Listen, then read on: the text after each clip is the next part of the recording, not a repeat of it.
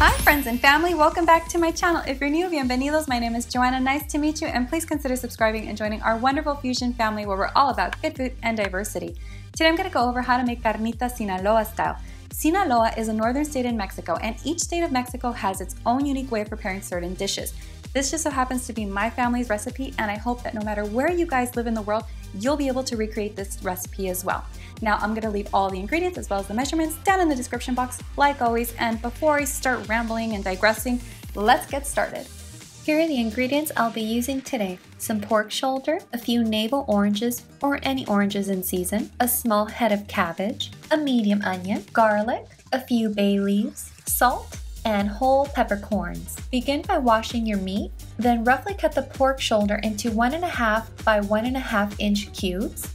This is optional, but you can trim off any excess fat or keep it. It's up to you. On a different cutting board, cut the onion in half and cut the head of cabbage into four quarters.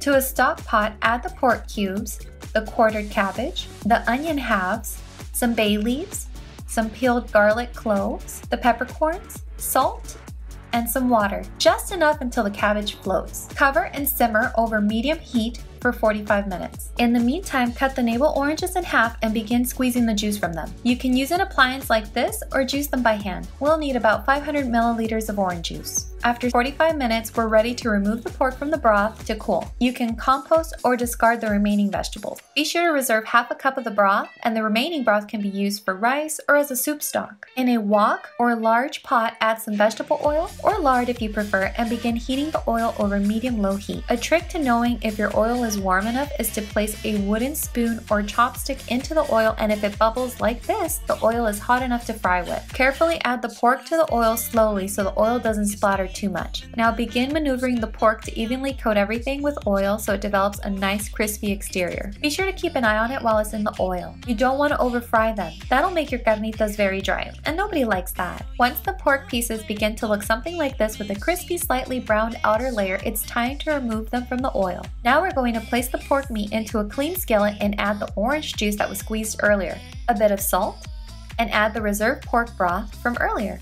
Give it a mix and leave uncovered to simmer over medium heat for about 30 minutes.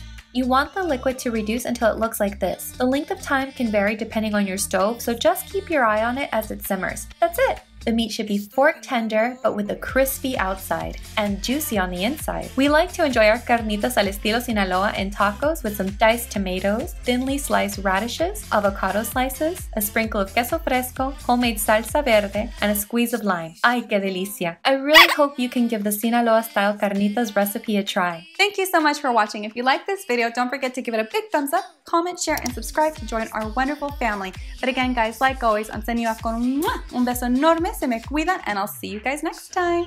Suerte! I forgot what I was gonna say. Take number three. Something funny about women from Sinaloa, we run our mouths. This is why intros are so hard for me because I just talk and talk. Mm-hmm. Mm-hmm. Mm-hmm.